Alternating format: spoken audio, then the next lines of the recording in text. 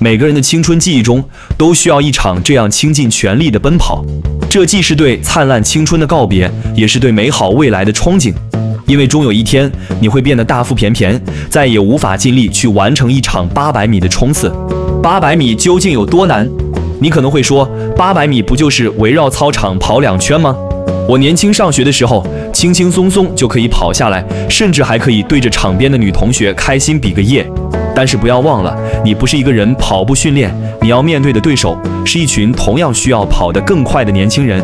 人们常说，高考是千军万马过独木桥。而一旦你站上赛场，面对的压力与高考也将别无二致。即便是短短一秒钟的差距，也是巨大的实力差距。当你想要倾尽全力、不顾一切地冲击终点时，八百米的难度才开始陡然增加。八百米的难点，难就难在它既不是短跑，也不是长跑，而是复杂的中长跑。从人体的代谢角度来讲，短距离、中距离、长距离所需要的能量供应是不同的。选手们需要从比赛一开始就强力加速，一直保持高强度的速度冲击，才能够维持高水平的发挥。短期内的快速跑动会让体内的乳酸浓度猛增，使体内酸碱平衡破坏，从而导致人体运动能力急剧下降。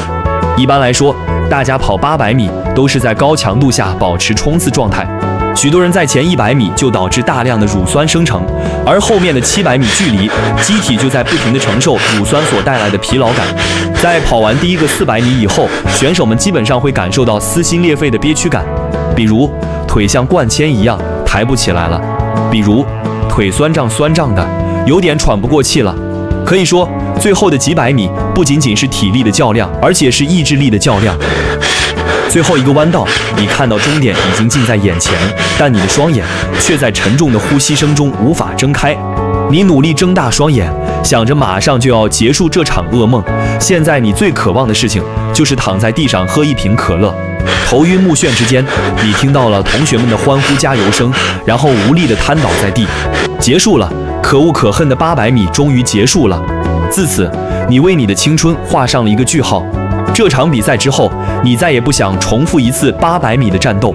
每当有人问起你感觉最累的是什么时候，你总会想起那个明媚夏天的午后，然后微微一笑。哦，原来我也曾经完成过噩梦一般的八百米。